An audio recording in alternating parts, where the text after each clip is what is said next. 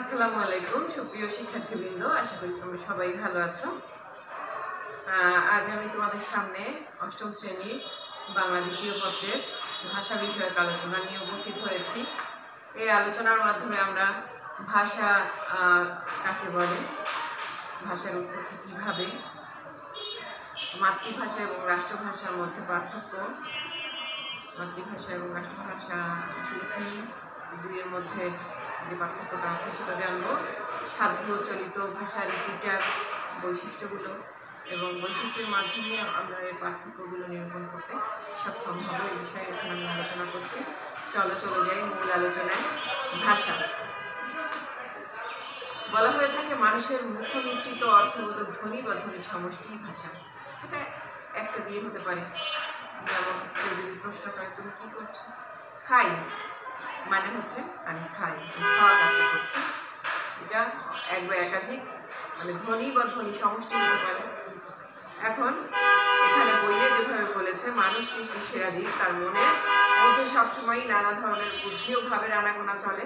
সেই বুদ্ধি বা ভাব ইশারায় নানা অঙ্গভঙ্গি করে ছবি ও নাচের মাধ্যমে প্রকাশিত হতে পারে। কিন্তু এভাবে পারে, এরকম শব্দ অনেকেই উচ্চারণ করে। অঙ্গভঙ্গির মাধ্যমে প্রকাশ করে কিন্তু সেটা কি ভাষা? অনেকে বোমা মানুষ?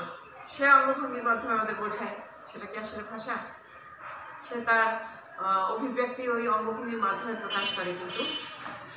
মুখের সাহায্যে ব্যাপক পরিসরে এটা যখন প্রকাশ করা যায় এবং সেটা অর্থপূর্ণ এবং বোধগম্য হয় তখন সেটা হচ্ছে ভাষা।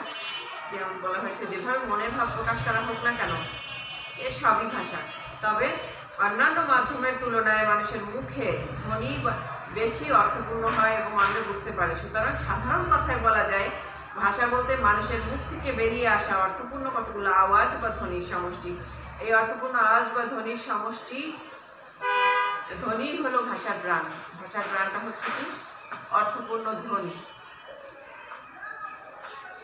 আহ, উ, ইস, এগুলো আসলে কতখানি অর্থপূর্ণ?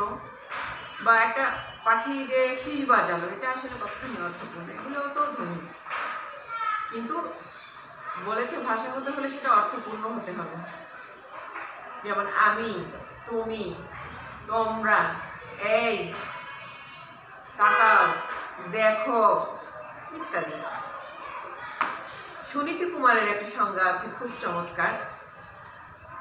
মনের ভাব প্রকাশের জন্য বাকযন্ত্রের সাহায্যে সম্পাদিত বাকযন্ত্রের সাহায্যে সম্পাদিত মানে এখান থেকে শুরু করে এই যে ফুসফুসতারিত বাতাস, এই সমস্ত অঙ্গগুলো, একত্রিত বাকযন্ত্র ফুসফুস শুরু করে উপরের সমস্ত অংশ, অঙ্গগুলো যেগুলো ভাষা ধ্বনি উচ্চারণের ক্ষেত্রে কাজে লাগে।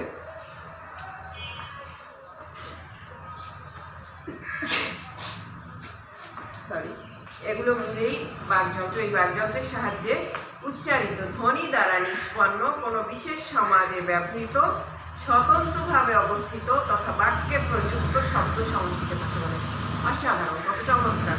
কোনো কিছু বাদ রাখেন নাই বলেছে এটা মানুষের মনের ভাব প্রকাশের জন্য বাকযন্ত্রের সাহায্যে উচ্চারিত হতে হবে এবং শুধু ধ্বনি দ্বারা সেটা নিষ্পন্ন বা সম্পন্ন হতে হবে।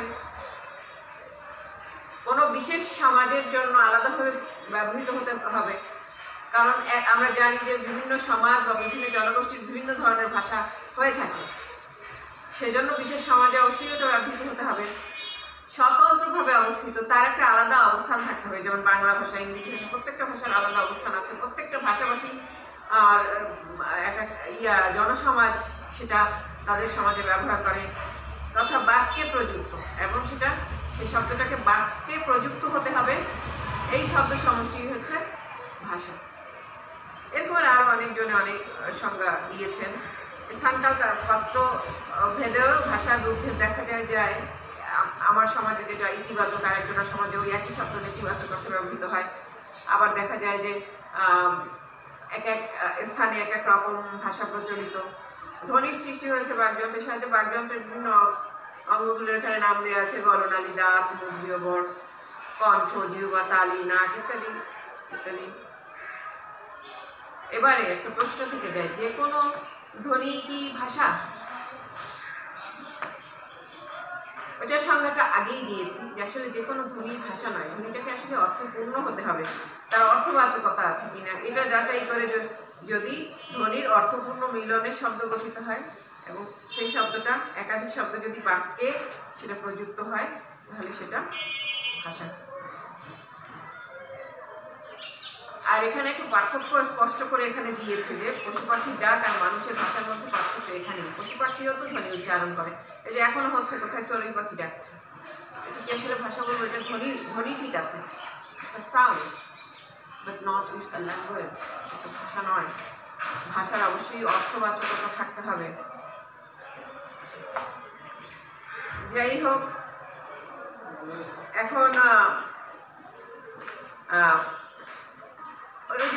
যেভাবে বলেছে যে পৃথিবীর স্থানকাল পাত্রভেদে বিভিন্ন স্থানে বিভিন্ন ভাষা প্রচলিত, যেমন আমাদের বাংলাদেশে বাংলা ভাষা, ফ্রান্সে ফ্রেঞ্চ ভাষা, ইংল্যান্ড সহ বিশ্বের বিভিন্ন দেশে আমেরিকাতে ইংরেজি ভাষা প্রচলিত রয়েছে, ল্যাটিন ভাষা প্রচলিত রয়েছে বিভিন্ন দেশে।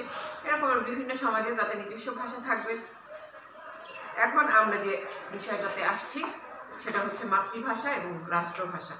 আসলে এই দুইয়ের মধ্যে আমরা তো যেমন বাংলাদেশে আমরা যেটা দেখি, আমরা জানি আমাদের মাতৃভাষা বাংলা, আবার রাষ্ট্রভাষাকেও বাংলা দেখি। তার মানে কি রাষ্ট্রভাষা আর মাতৃভাষা এক জিনিস? না। মাতৃভাষাটা হচ্ছে ওই দেশের অধিকাংশ মানুষ যে কথায়, যে ভাষায় কথা বলে, সেটাকে মাতৃভাষা হিসেবে সেটা স্বীকৃতি পায়। যেমন বাংলা দেশে আরও অনেক ভাষা প্রচলিত আছে কিন্তু ম্যাক্সিমাম মানুষের ভাষা বাংলা বিধায় এটাকে বাংলাকে, বাংলা আমাদের মাতৃভাষা আমরা বলে থাকি। এখন কথা হচ্ছে, অনেকে বলে মায়ের মুখ থেকে শিখি বলে আমরা, এটা আমাদের মাতৃভাষা। আসলে যাদের মা নাই, তারা কি ভাষাটা শেখে না। যার কাছ থেকেই শিখুক, এই ভাষাটাতেই মেজরিটি সংখ্যক লোক কথা বলে। মানুষ স্বাভাবিকভাবেই বড় হওয়ার সাথে সাথে এই ভাষাটা শেখে সেজন্য এটা মাতৃভাষা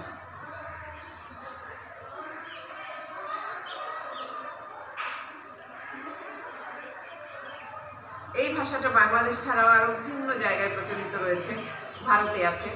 ভারতের বিভিন্ন প্রদেশে বাংলা প্রচলিত রয়েছে। এছাড়াও আরও বিশ্বের বিভিন্ন দেশে এরপর বহু বাংলা ভাষাভাষী লোক বাস করে। পৃথিবীতে প্রায় তিরিশ কোটি লোকের মাতৃভাষা বাংলা, আর মাতৃভাষার বিবেচনায় সারা পৃথিবীতে বাংলার স্থান হচ্ছে চতুর্থ। এবার রাষ্ট্রভাষাটা কি রাষ্ট্রভাষাটা হচ্ছে রাষ্ট্র তার সংবিধান কর্তৃক যে ভাষাটাকে স্বীকৃতি দেয় তার সার্বভৌমিক রাষ্ট্রের কাজকর্ম, দাপ্তরিক, প্রশাসনিক সকল কাজকর্ম সম্পাদনের জন্য এবং আন্তঃসম্পর্ক স্থাপনের জন্য একে অন্যের সঙ্গে। একটা দেশে বহু ভাষাভাষী লোকজন থাকতে পারে। তার মানে এমনটা নয় যে আমাকে বহু ভাষা সবই জানতে হবে। যেমন আমাদের সংবিধানে স্বীকৃতি দিয়েছে বাংলা আমাদের রাষ্ট্রভাষা এবং আমাদের বোধহয় জনসংখ্যার একটা মেজরিটি সংখ্যক মানুষ হচ্ছে বাংলায় কথা বলে। এর জন্য বাংলাকে রাষ্ট্রভাষা স্বীকৃতি দেওয়া হয়েছে কারণ বাংলাকে সবাই বোঝে। আরেকটা উদাহরণ দেওয়া যেতে পারে আমাদের পার্শ্ববর্তী রাষ্ট্র ভারত, যেখানে হাজার হাজার ভাষা প্রচলিত রয়েছে। সেখানে কিন্তু সংবিধানে দুটো ভাষাকে রাষ্ট্রভাষা হিসেবে স্বীকৃতি দেওয়া হয়েছে যে ইন্টার রিলেশন তাদের অ্যাডমিনিস্ট্রেটিভ মানে প্রশাসনিক কাজকর্ম, তাদের দাপ্তরিক কাজকর্ম, দলিল দস্তাবেজ সব ওই ভাষাতেই সংরক্ষিত হবে এবং প্রত্যেকে ওই দুটো ভাষার মাধ্যমেই তাদের ওই হাজার হাজার ভাষা শিখতে যেতে হবে না। এই রাষ্ট্র সংবিধান কর্তৃক যে ভাষাটাকে স্বীকৃতি দিয়ে থাকে, সেটা হচ্ছে তাদের রাষ্ট্রভাষা। যেমন ভারতের রাষ্ট্রভাষা ইংরেজি আর হিন্দি আর বাংলাদেশের সংবিধান কর্তৃক স্বীকৃত বাংলা, এজন্য বাংলাদেশের সকল দাপ্তরিক, প্রশাসনিক সকল কাজকর্ম দলিল দস্তাবেজ সব কিছু বাংলায় সংরক্ষিত হয় কাজকর্ম এভাবেই চলছে। সাধু ও চলিত রীতিটি পৃথিবীতে যত ভাষা তুমি দেখো না কেন, সব ভাষারই দুটি মৌলিক রীতি আছে। একটা হচ্ছে তার মৌখিক রূপ, মুখে বলে একভাবে। আর লিখিত রূপ বা লৈখিক রূপ লেখার ভাষা যেটা, সেটা একরকম এখন মৌখিক রূপেরও দুই, দুইটা রীতি আছে। একটা হচ্ছে আঞ্চলিক রীতি আর একটা হচ্ছে প্রমিত রীতি। আর লিখিত বা লৈখিক রূপেরও দুটো রীতি আছে। একটা হচ্ছে সাধু রীতি, একটা চলিত রীতি। অর্থাৎ আমি তোমাদের বলতে চাই আমরা যে মৌখিক মুখে যে কথা বলি এটারও দুটো রীতি আছে। একটা হচ্ছে আঞ্চলিক রীতি যেমন আমার বাড়ি বরিশাল, আমি কিন্তু বরিশালের ভাষায় বাসায় বসেও মাঝে মাঝে কথা বলি। কিন্তু আমি যখন এই যে তোমাদের সামনে ক্লাস উপস্থাপন করছি, আমি কিন্তু প্রমিত ভাষায় কথা বলছি তোমাদের সামনে। এটা হচ্ছে শুদ্ধ, অনেকে শুদ্ধ বলে বাট আই থিঙ্ক মানে শুদ্ধ না। It is something more than শুদ্ধ। মানে কি বলব এটা? এটা হচ্ছে শুদ্ধ থেকেও বেশি কিছু। একেবারে পরিমার্জিত, ঝকঝকা, টকটকা বর্তমান যেটা প্রচলিত, এটা। আচ্ছা যাক। এবারে আসো, আমরা সাহিত্য উপন্যাস, বিভিন্ন রচনা যে লিখি বা আমরা যে বিভিন্ন রকম পরীক্ষা টরীক্ষা যেগুলো দিয়ে থাকি, আমরা আমাদের চাকরির পরীক্ষা, বিভিন্ন প্রতিযোগিতামূলক পরীক্ষা, এগুলো আবার বা সাহিত্য এইসব লেখনীর ক্ষেত্রে দুটো রীতি প্রচলিত আছে। এটাও পৃথিবীর সব ভাষাতেই প্রচলিত আছে। লেখার দুটো রীতি রীতি, একটা হচ্ছে সাধু রীতি, একটা হচ্ছে চলিত রীতি এখন আঞ্চলিক রূপটা কি? বিভিন্ন অঞ্চলে ভাষার যে ব্যবহারটা, এটা তার আঞ্চলিক রূপ। যেমন বরিশালে ভাষার আঞ্চলিক রূপটা একরকম। নোয়াখালীতে আর একরকম। ঢাকায় একরকম। এটা দিয়ে আমরা বুঝি অঞ্চল ভেদে ভাষার যে রূপটা পরিগ্রহ করে, সেটা আঞ্চলিক রূপ। প্রমিত রূপ সেটা আমি বলেছি। আচ্ছা সাধু রূপ, যে ভাষারীতি অধিক গাম্ভীর্যপূর্ণ, তৎসম শব্দবহুল। তৎসম মানে হচ্ছে সংস্কৃত শব্দবহুল শব্দ যেখানে থাকবে। ক্রিয়াপদের প্রচলন রীতি, প্রাচীন রীতি। ক্রিয়াপদের যে প্রচলন, সেটাতে প্রাচীন রীতি এবং দীর্ঘ রীতি প্রচলিত রয়েছে। আর একটা হচ্ছে আঞ্চলিকতা মুক্ত এই ভাষা রীতিটা সাধুর যেটা যেমন এক ব্যক্তির দুইটি পুত্র ছিল।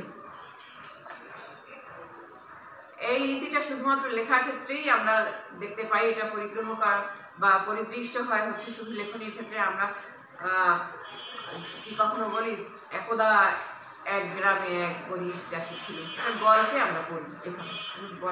বাস্তবে আমরা মৌখিকভাবে বলি না। এরপরে চলিত রীতি। চলিত রীতিটা হচ্ছে ওরকমের।